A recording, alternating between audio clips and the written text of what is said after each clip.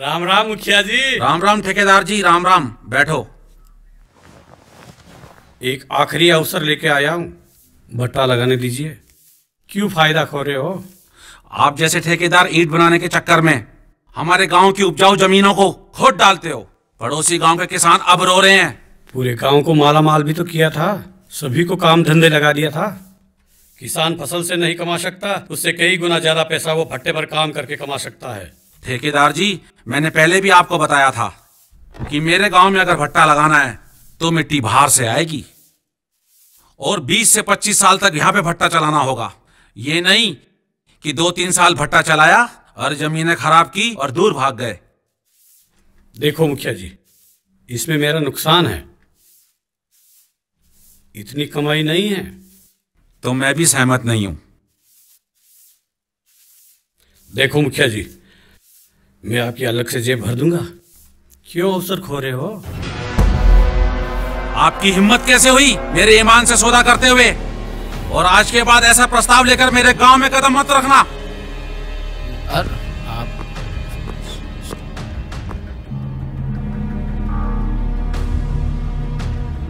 अब हटोगे? तो झाड़ू लगा दूँ। सौदा कराऊं ना? हो गया ना? अब तो आपको जाने की देरी है।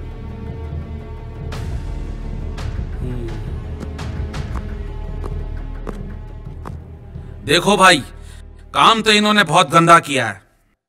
हमारे गाँव की इज़्ज़त मिट्टी में मिला दी है। अब फैसला यही है कि इनको समाज से बाहर कर दिया जाए। हाँ और मुखिया जी आपकी बेटी नीची बस्ती के लड़के के साथ रोज घूमती फिरती रहती है। अगर वो उसके साथ भाग गई तो क्या यही फैसला आपको मंजूर होगा? ये क्या बकवास कर रहे हो? जबान खींच लूँगा। अगर ऐसी पानी बोली तो। वाणी मैं नहीं गाँव की पूरी औरतों के मुँह से निकल रही है। ये बातें मैंने नहीं बनाई है। मैंने भी जो सुना है वही बोला है। मुखिया जी के बारे में ऐसे कैसे बोल सकते हो? शर्म नहीं आती तुम्हें हाँ? अभी कुछ हुआ ही नहीं। आप ऐसे कैसे बोल रहे हो? अगर तुम्हें फैसला मंजूर नहीं है तो कुछ भी बोल दोगे। और वो भी मुखिया जी के बारे में।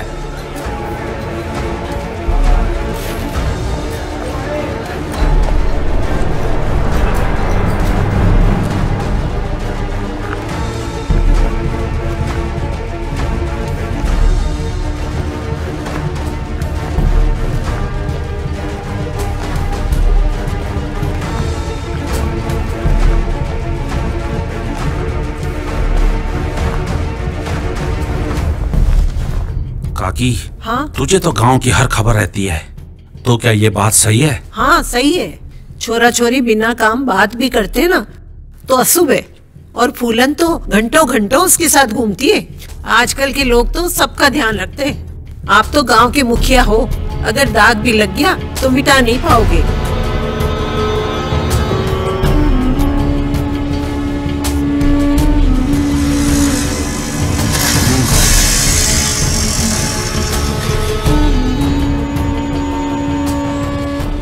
जल्दी करो राणा। वक्त नहीं है अब।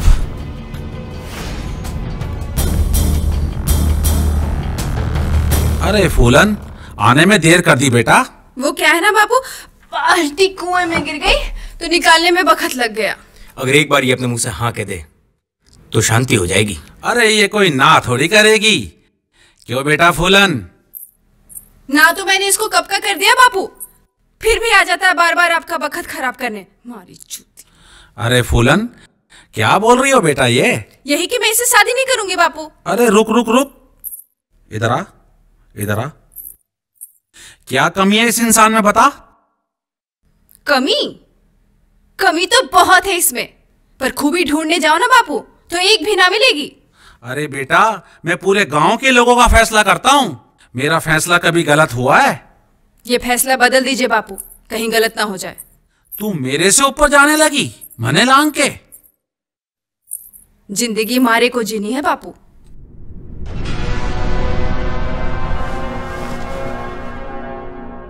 थारी ही ज़िंदगी सवारने के लिए सब कुछ कर रहा हूँ। थारी ज़िंदगी में कभी दुख नहीं आवे और कोई भी चीज़ की कमी नहीं आवे। एक बाप होने का फ़र्ज़ अदा कर रहा हूँ गलती थोड़ी करूँगा। पर मारे भी तो कोई पसंद रहे। बेटी तुम लोग पसंद तक ही सोच पाते हो जो चंद दिनों के लिए होती है लेकिन हम तुम्हारे जीवन भर के लिए सोचते हैं। पर बापू जो पसंद नहीं उसके साथ जीवन जोड़ना ऐसे जीवन जीने में खुशी कहाँ? मैं किसी और को पसंद करती हूँ बापू। जिसको तुम पसंद करती हो उसके बारे में पता है तुम्हें? भेड़ बकरियाँ चराता है वो। और रहने के लिए एक छोटी सी झोपड़ी आटा भी मांग के लाता है। उसके साथ खुश नहीं भूखी मरोगी भूखी। और वो नीची बस्ती का है। पर है तो इंसान ना बापू। अरे तुम जे उसके साथ चली गई ना तो मैं तुम्हारे घर तुमसे मिलने भी नहीं आ सकूँगा। और मेरी गाँव में सिर्फ़ बेइज्जती के अलावा कुछ नहीं रहेगा। आप मत आना बापू। मैं मिलने आ जाया करूँगी आपसे बार बार लगता है तुझे बेइज्जत होने के लिए ही पाला है मैंने। छो, छोड़ो बापू। एक बात कान खोल के सुन ले। हम लोग इज़्ज़त के लिए जीते हैं और उसको बचाने के लिए कुछ भी कर सकते हैं। और रही बात शादी की जो मेरी मर्ज़ी होगी वही होगा। बापू बापू बापू क्या कर रहे हो? बापू दरवाज़ा खोलो। बापू ये गलत है। अन्याय है बापू मैं उसके बिना नहीं रह सकती बापू चुप। अब तू मर भी नहीं सकती मेरी मर्ज़ी के बिना। अगर ये बाहर निकली ना तो तेरी आत्मा बाहर निकाल दूँगा।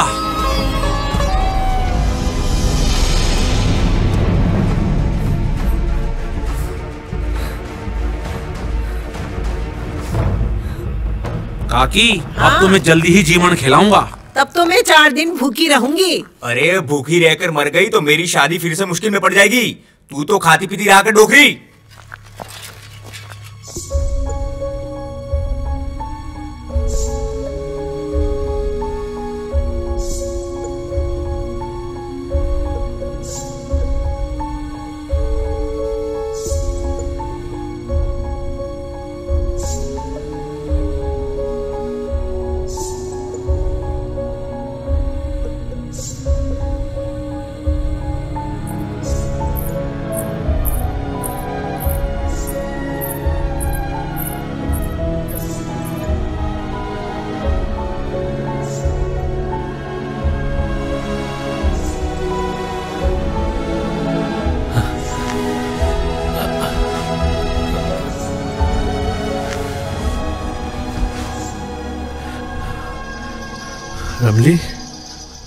नहीं आई। और अब आएगी भी नहीं।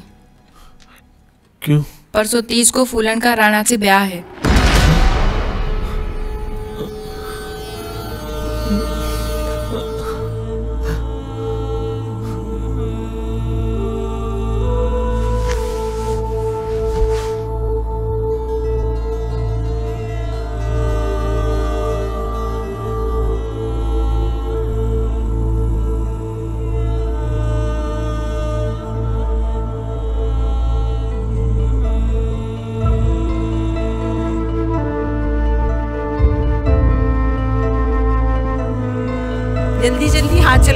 भाई। अभी तो मुखिया गाढ़ा भर के लाएगा। कल गाँव की सारी औरतों को बुलाओ। बहुत अनाज साफ़ करना है। जाओ देखो कामकाज कैसे चल रहा है। देख के आओ।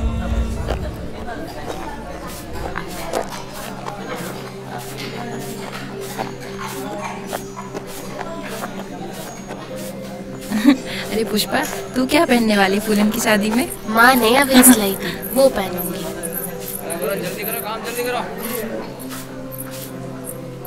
देना साफ़ करो ए वो चावल नहीं बोली जाओ सबको न्योता देकर आओ। गाँव में जाकर सबको न्योता दो। ले तेरी सहेली की शादी अच्छा। है तू भी थोड़ी मदद कर ले। अच्छा।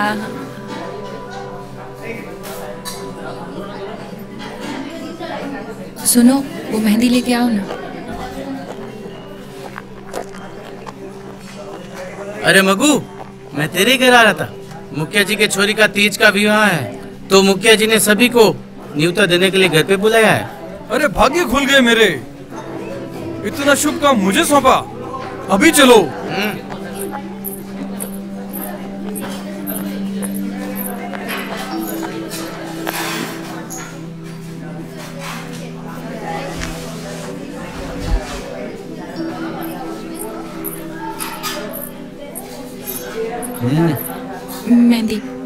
जाओ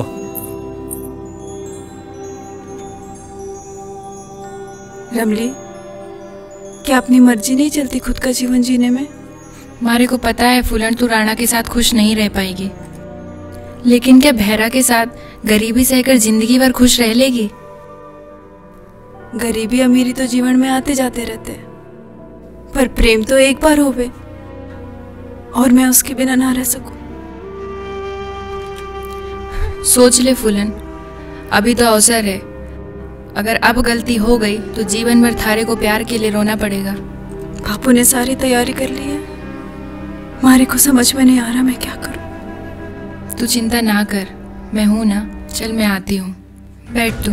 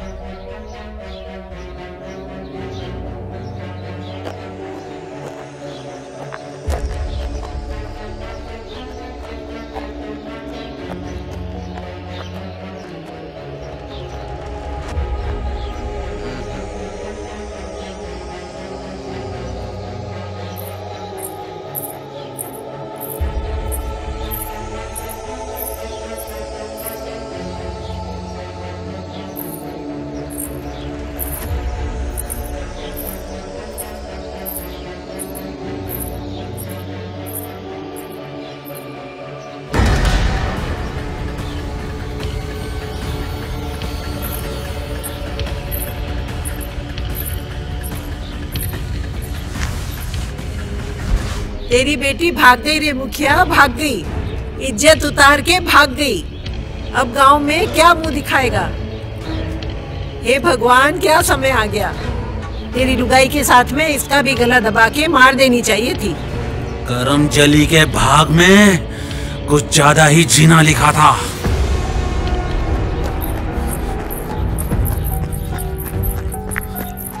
इतनी तेज भागी नहीं कभी। अरे इससे पहले भागी कहाँ? पहली बारी तो भाग रही है। नाव चढ़ो। अरे पर पानी के रास्ते कब पहुंचोगे? मुखिया जी के आदमी पकड़ लेंगे। पानी के उस पार पहले माता जी के मंदिर में शादी करेंगे फिर आगे का रास्ता तय करेंगे। मैं हमारी पक्की सहेली को तारे साथ छोड़ रही हूँ। इसका उम्र भर ख्याल रखना। कभी शिकायत का मौका नहीं दूँगा।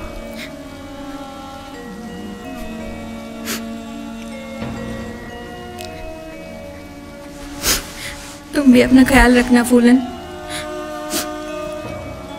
और मेरा का ज़िंदगी भर साथ निभाना। तुम्हारे से मिलना आवेगी ना।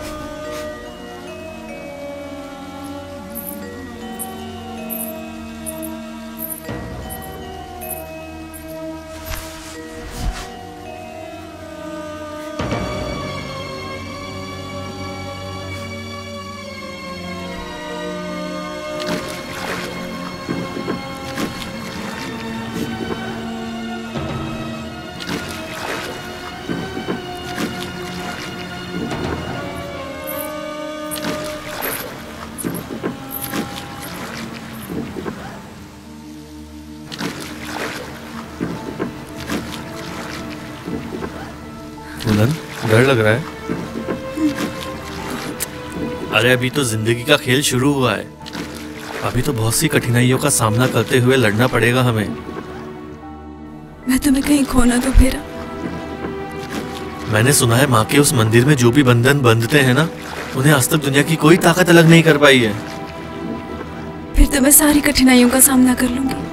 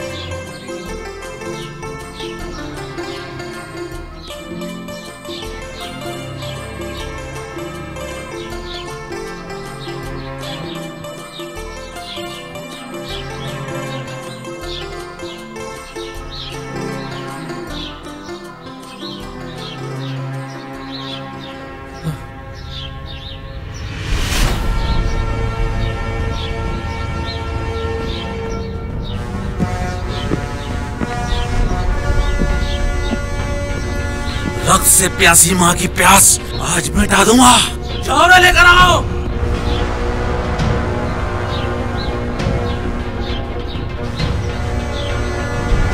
रुको।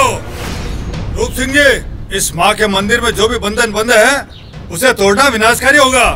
आपका उपदेश सुनने नहीं आए हम यहाँ। हमने हमेशा न्याय किया है। खून खराबा नहीं न्याय करेंगे। अच्छा तो अपने गाँव के छोरे का पक्ष ले रहे हो? नहीं मैं तो आपके गाँव की बेटी को बचा रहा हूँ। फैसला करेंगे। फैसला ये है कि फुलन से मारी शादी होने वाली थी और ये हरामी उसे भगा कर ले आया। पहले इसे मारूँगा और फिर फुलन से शादी करूँगा। फैसला हम करेंगे राणा। और पहले इसे मारकर। राणा रुको। फैसला हम करेंगे। रुको रुको। अगर कोई भी नज़दीक आया ना तो माँ के कदमों में खून बहा दूँगा। रुको रुको मेरी बात सुनो। अरे रुको। रूप सिंह जी हम मुखिया को हुए उचित नहीं है। और लोग क्या कहेंगे? मुखिया को होते हुए खून खराबा मेरी बेटी भागी है मुखिया जी। पता है इसलिए सबके तरह पंचायत करना ही मान मर्यादा है। राणा तुम आपकी मान मर्यादा तोड़ रहे हो।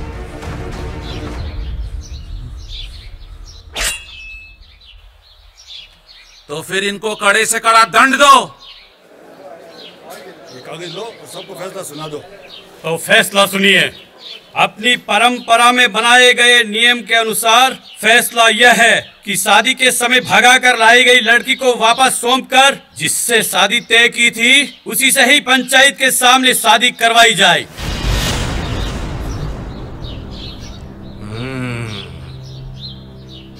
और इस बच्चे का क्या?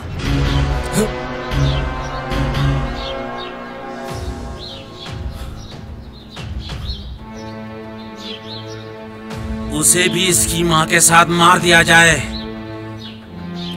हरामी इतना सब कुछ कर लिया तुमने।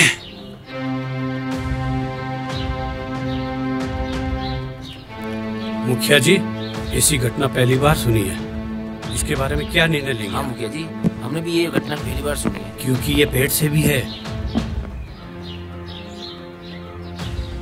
तो अंतिम फैसला ये है कि इन दोनों को गाँव से बाहर निकाल दिया जाए। अब इस नियम के बंदिशों के बारे में सुनिए। इनकी सात पीढ़ियाँ गाँव में नहीं बसेगी। गाँव से कोई भी आटा पानी नहीं देगा। देने पर दंडित किया जाएगा। गाँव के कोई भी सार्वजनिक कार्य मंदिर, पनगट पर आने नहीं दिया जाएगा। और गाँव में जो इसका घर है, उसे पंचायत के जगह में शामिल कर दिया जाएगा।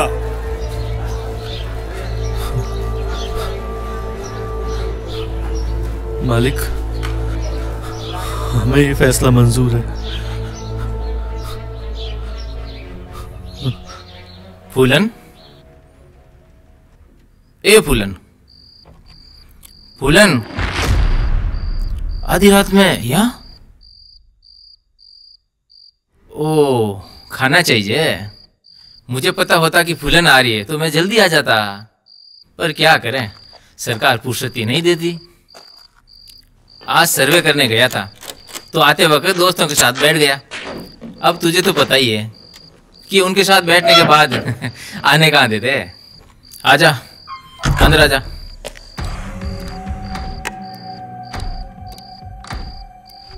अरे आजा। भूख नहीं मिटानी है क्या? आजा।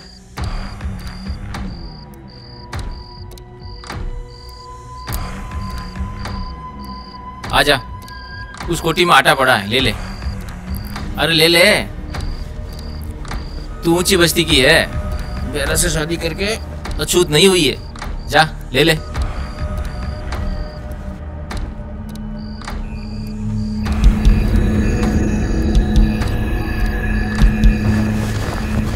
इतना आसान आटा कहाँ मिलता है? या तो कमाना पड़ता है, या फिर मर्दों को खुश करना पड़ता है।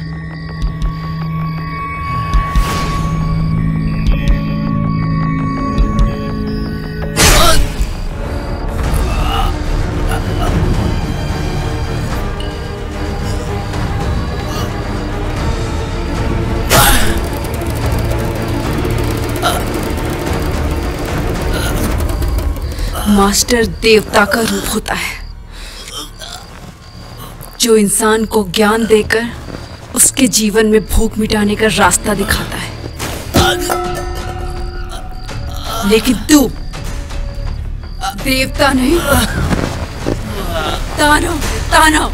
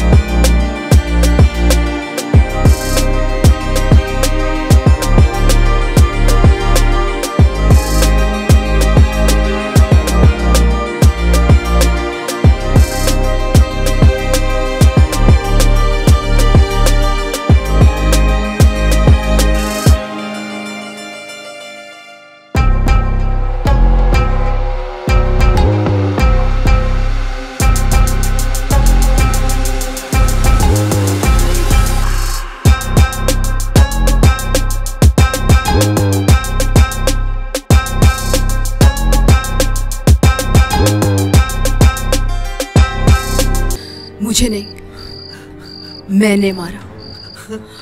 आटे के बदले इज़्ज़त मांगने वाले सभी को मारा मैंने। अरे बाहुली ये क्या बोल रही है? और क्या किया तूने? इज़्ज़त मांगी तो मौत दे दी। औरतों की इज़्ज़त लूटने का ठेका ले रखी उन चार हरामी ठेकेदारों को। भगवान ये क्या किया तूने? अरे कुछ ही दिन जीने के बचे थे वो भी छीन लिए। और तुझे मारने की क्या ज़रूरत थी? अरे आटा नहीं दिया तो वापस आ जाती। मार ही दिया मार ही इतने दिया। दिनों से मुझ पर लगा रखी बुरी नज़र एक ना एक दिन तो हटानी ही थी। अरे तो कुछ दिन वो सहन कर लेते। मार ही दिया। अरे क्या करूँ?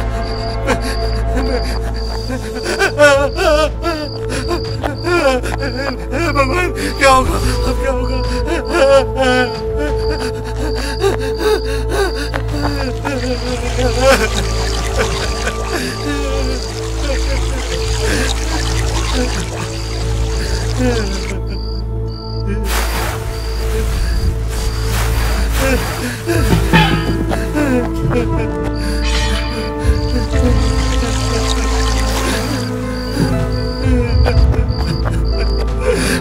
ऐसे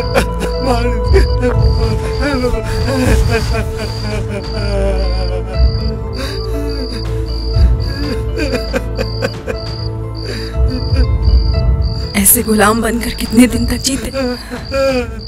तो अब जीने भी नहीं देंगे मार देंगे हमें गाँव वाले। तो इज़्ज़त के लिए मरना पड़े तो मैं मरने के लिए तैयार हूँ। अरे दिमाग खराब हो गया तेरा। क्या सोच के किया है? आटे के लिए मार देना। अरे मुझे पता होता ना तो मैं तुझे जाने ही नहीं देता। कहीं से चोरी करके ले आता आटा। और पकड़े जाते तो? अरे तो मार खा लेता। लेकिन आटा तो लेकर आता। मार के ही आ गई। इस बच्ची को तो जीने देती। इस बच्ची के बारे में तो सोचा होता। वो गाँव वाले हमारे साथ साथ इसे भी मार देंगे। मैंने क्या किया बापू? गाँव वाले मुझे क्यों मारेंगे? मैं भूखी सो गई इसलिए। एक काम करते हम तीनों कुएँ में कूद के अपनी जान दे देते हाँ। हाँ चलो। आत्महत्या करना समस्या का समाधान नहीं होता। हमने कोई गलत नहीं किया बल्कि गलत करने वाले को मिटाया है। चलो चुपचाप चलो। मैं नहीं जाऊँगी। तुम्हें डर लगता है तुम जाओ। मैं ये लड़ाई लड़ूँगी। मैं कहीं नहीं जाऊँगी माँ मैं यही रुकूँगी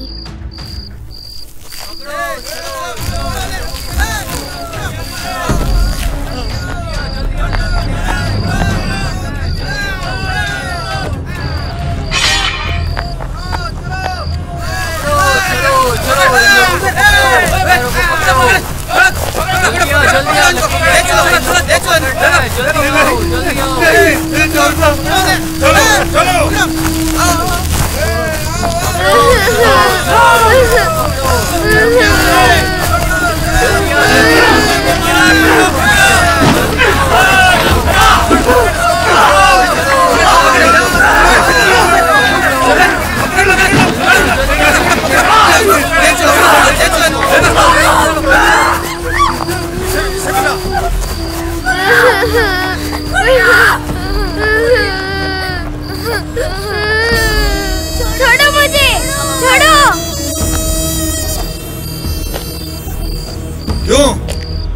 अन्नदाता तुम्हें पसंद नहीं थे?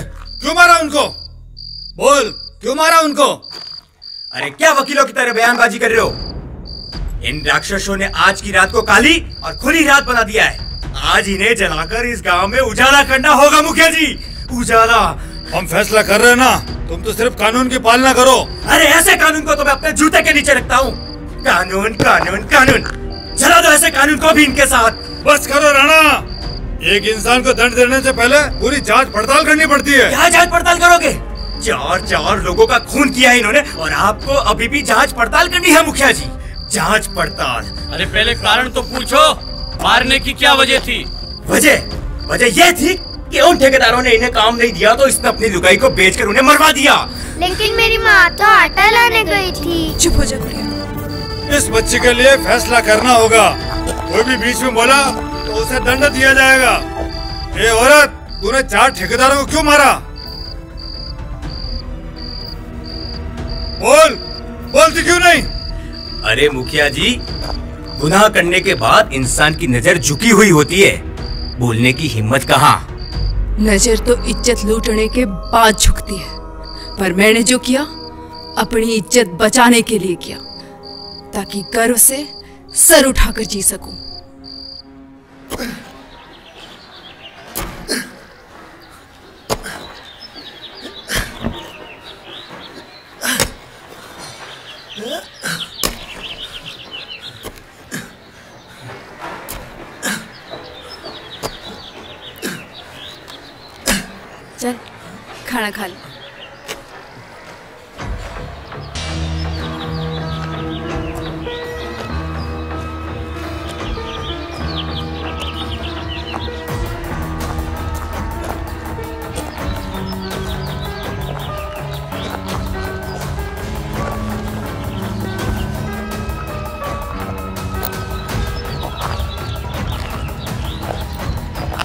ए भेरा। दोनों इधर आओ।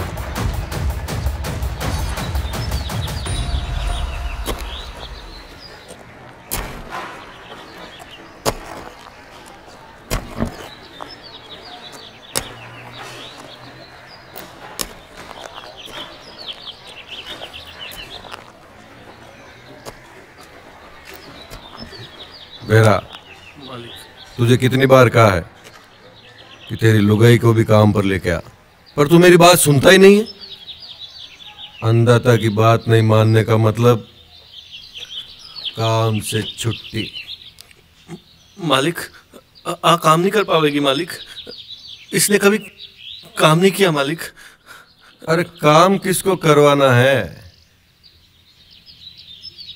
ये जो कुर्सी पड़ी है खाली इस पर बैठना है। मेरा सहयोगी बनकर। मालिक आप तो अन्नदाता है मालिक। सबका पेट भरते हैं। आपसे हाथ जोड़कर विनती है मालिक। हम पर भी थोड़ी कृपा कर दो मालिक। वो क्या है ना? घर में छोटी बच्ची है मालिक। अरे तभी तो कह रहा हूँ।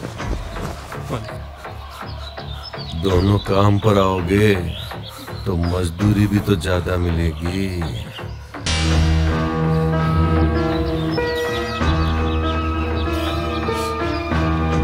तेरा और मुझमें क्या फ़र्क? है सब मर्द एक ही तो जैसे होते हैं। हाँ। चल, जल्दी चल। मेरी शर्त मंजूर नहीं हो तो कल काम पे मत आना। पाँच दिन की मजदूरी भी गई और काम भी।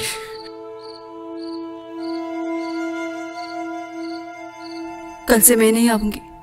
जाते वक्त ही खाना ले जाना। वो कई दिन से थारे पे नज़र गड़ाकर बैठा है। इज़्ज़त लूटना चाहता है वो रागस मैं कल से उसके काम पर नहीं जाऊँगा। सुना एक ठेकेदार और है शिवा। वो अच्छा आदमी है। कोशिश करो। मेरा काम की तो कमी नहीं है। वो क्या है ना तूने गुना कर दिया है? और गाँव वालों ने तुझे दंड दे रखा है, इसलिए तुझे कोई काम नहीं देगा। और काम दे भी दूँ तो पंच नाराज़ हो जावेला पर एक रास्ता है, तेरी लुगाई को यहाँ काम पे भेज दे, और उसे कोई पहचानेगा भी नहीं। और वैसे भी मेरे यहाँ तो सारी औरतें ही काम करती है। हाँ क्यों नहीं? सारी औरतों के साथ मैं भी काम कर लूँगी।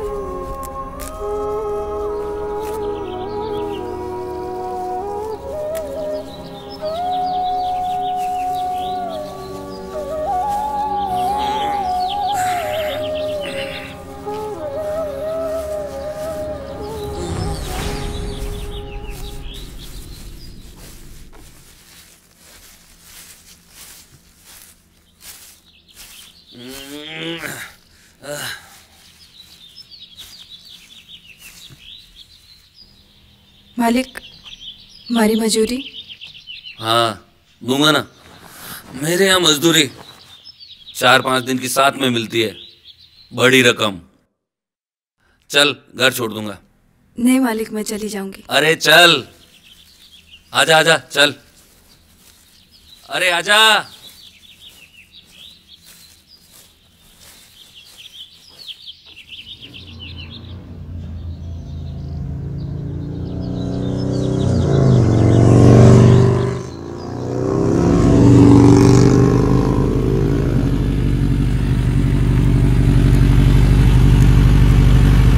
क्या हुआ मालिक ये जगह सही रहेगी।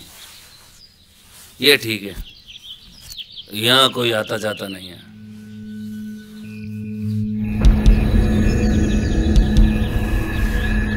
अरे अरे रुको क्यों जा रही हो?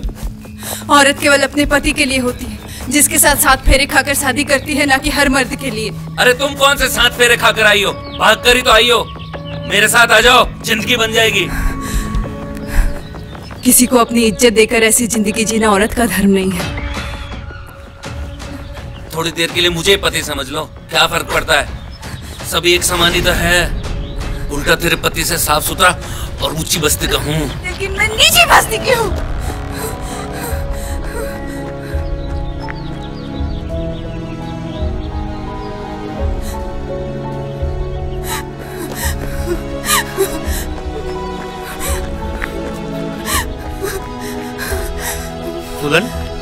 हे फुलन, क्या हुआ? फुलन बोलना रोक क्यों रही है तू? नहीं तबीयत तो ठीक है ना?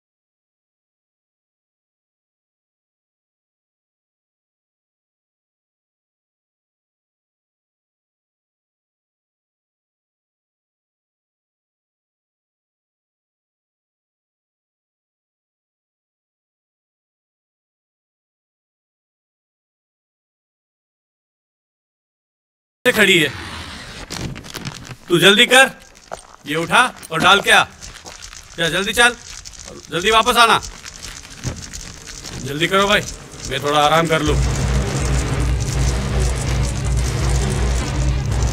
अरे आग आग आग लग गई आग जाओ जाओ भाई, पानी लेके आओ पानी लेके आओ। अरे, दौड़, दौड़, दौड़, आग। तू। अरे पानी ले ला, पानी ला। पानी पानी पानी। पानी पानी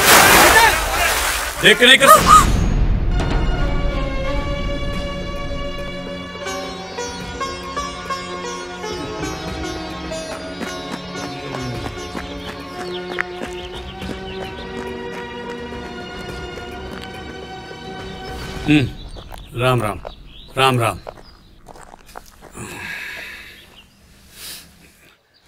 अरे तुम भी जाओ रे। कल समय पे आ जाना। दो तीन दिन काम है। जाओ जाओ।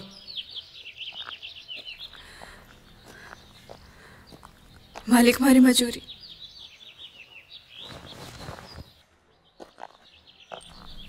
ओ तुम? हम्म झालरा गाँव के मुखिया की लड़की। तेवर कैसे फीके पड़ गए तुम्हारे? अच्छा। गरीबी? कोई बात नहीं। हम है ना? मालिक हमारी मजूरी। अरे ये क्या? मैंने तुम्हारी जान बचाई है और उसके बदले कुछ नहीं सिर्फ़ मजदूरी। भगवान आपका भला करे। आशीर्वाद की कोई कमी नहीं। सब देते। तुम कुछ और दे दो। वो दे दो। रुक। कहा जा रही है? जान बचाइए मैंने। नहीं देगी तो ज़बरदस्ती लूँगा। रुक।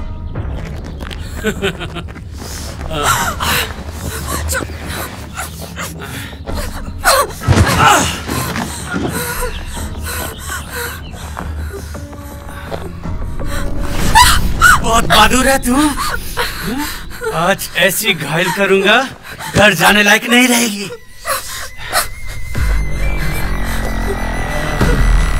फूलन नहीं, मालिक छोड़ दो। फूलन फूलन मालिक मालिक भगवान के लिए इसे छोड़ दो। मैं आपके पैर पड़ता हूँ, मालिक। मालिक मालिक छोड़ दो। फूलन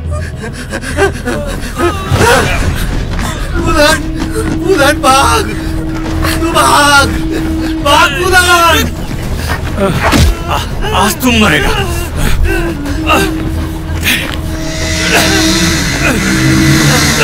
नहीं नहीं तू भाग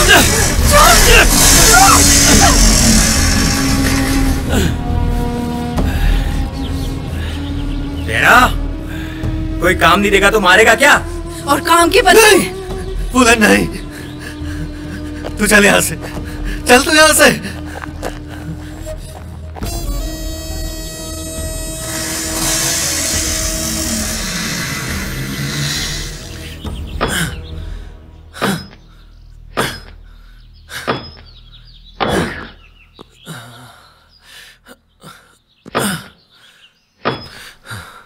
फूलन, भगवान भूखा तो नहीं मरने देगा। लेकिन अगर कुछ गलत हुआ ना तो माफ़ भी नहीं करेगा। आज एक औरत कह रही थी स्कूल में खाना बनाने वाली बाईजी ने काम छोड़ दिया। तो क्यों ना वहाँ बात करके देखे?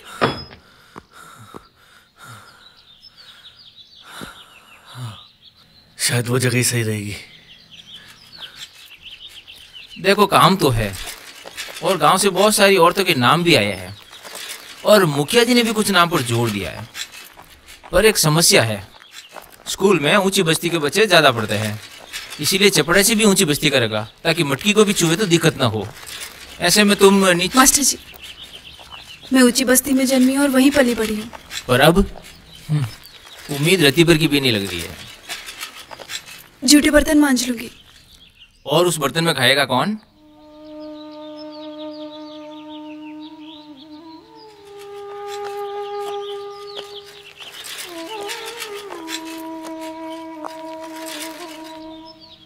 कोशिश कर सकता हूँ। पर एक शर्त पर अकेला रहता हूँ। सरकार छुट्टी भी नहीं देती। बीबी से मिले महीनों हो गए। छुट्टी के बाद रोज एक घंटा मेरे साथ ठहरना होगा। काम से? हम्म मेरे काम से। अरे कहाँ जा रही हो? छुट्टी के बाद आती हूँ। अभी बच्चे देरी से आएँगे। एक घंटे बाद। किसी ने देख लिया तो नौकरी चली जाएगी।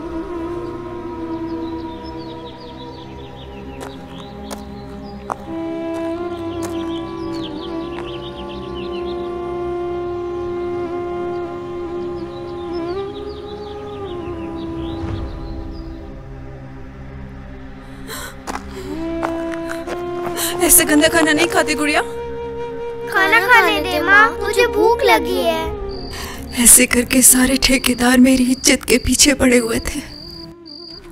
अंत में भूख से मरते वक्त एक पखत का आटा मांगने गई।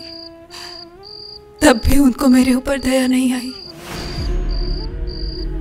सबने पहले इज़्ज़त मांगी तो ही आटा मिलेगा। अरे तो हमें बता देती। तुम्हें अधिकार किसने दिया दंड देने के लिए? गाँव का हर फैसला हम मुखिया लोग करते हैं और दंड भी हम देते हैं। उन्हें मार ही देना ये सरासर गलत कदम है। मेरे हिसाब से इन्हें जला देना चाहिए। जला देना चाहिए। जला देना चाहिए।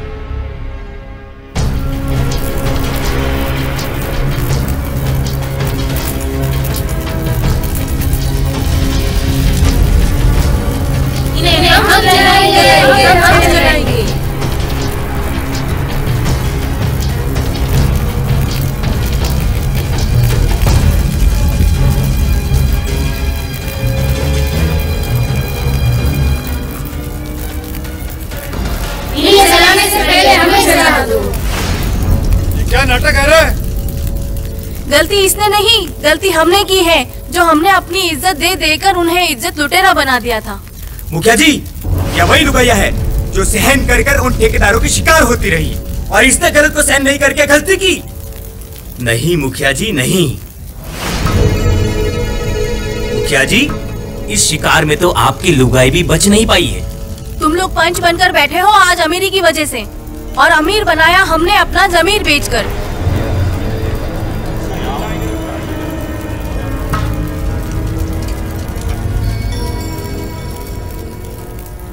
ही बताइए। अगर काम के बदले में आपकी लुगाई की कोई इज़्ज़त मांगे तो उसे माफ़ कर देना चाहिए या ज़िंदा जला देना चाहिए? ज़िंदा जला देना चाहिए, ज़िंदा जला देना चाहिए। और इस औरत ने जो किया वो सही किया या गलत? सही किया, सही किया। तो सही करने वाला क्या दंड का भागीदार होता है? हाँ हत्या करने वाला दंड का भागीदार होता है। और दंड में ग्यारह मण गेहूँ कबूतरों को दाना डालकर आपका प्रायश्चित करना होगा।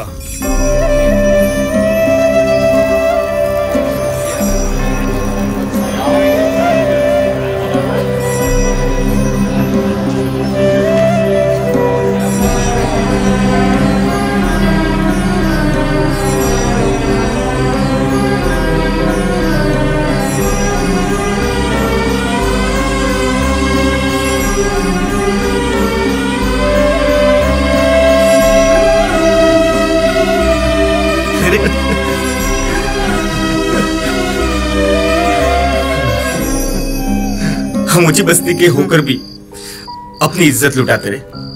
और इसने और इसने हमारी आँखें खोल दी। और मुखिया जी, अब इनके लिए भी कोई तो नियम होगा। ऐसे नियम में इन्हें गाँव में शामिल किया जाएगा।